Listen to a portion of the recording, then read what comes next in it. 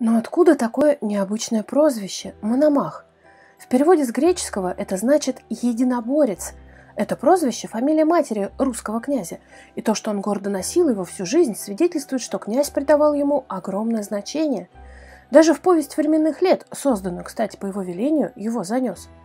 Так вот, повесть временных лет сообщает, цитирую, «У Всеволода родился сын от дочери царской, гречанки, и нарек ему имя Владимир, Напомним, дед Владимира Мономаха, Ярослав Мудрый, переженил своих детей, породнившись со всеми европейскими королевскими родами. Отцу Владимира досталась византийская принцесса. Но фактически Мономахом он не был, и это не более чем прозвище, которое, тем не менее, русский князь носил всю свою жизнь. Видимо, он хотел подчеркнуть, он внук императора Константина IX византийской династии Мономахов – Мономахи действительно знатный византийский род, вот только императором был один единственный Мономах, тот самый дед нашего великого князя Владимира. По одной версии мономахи происходят из армянской аристократии, по другим они греческого или вовсе славянского происхождения. Летопись называет мать Владимира мономахиней, грекиней, но вот имени ее не сохранила. О ней и ее браке не упоминается и в византийских источниках, поэтому точно неизвестно, кто был ее родителями.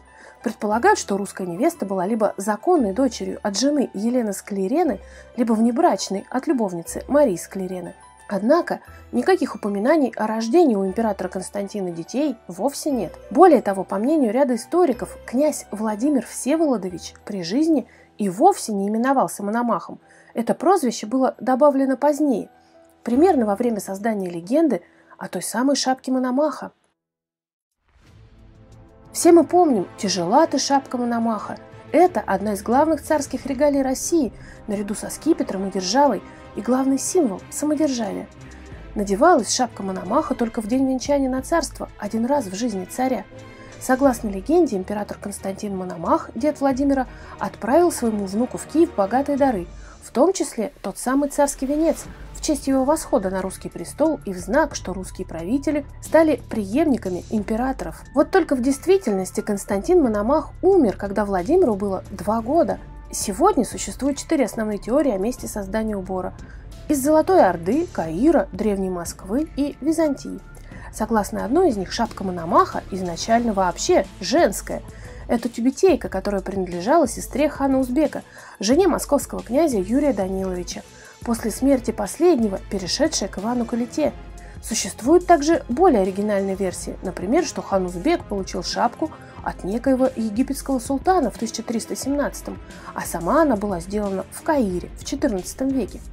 Впрочем, в монгольском происхождении шапки Мономаха ученые сомневаются. Документальных свидетельств того, что шапка принадлежала сестре хана Узбека, нет – да и христианская религия прямо запрещает ношение мужчиной женских вещей. По самой популярной среди ученых э, сегодня гипотезе, легенда о происхождении шапки Мономаха, как и она сама, появились во времена правления Василия III, наследника Ивана III.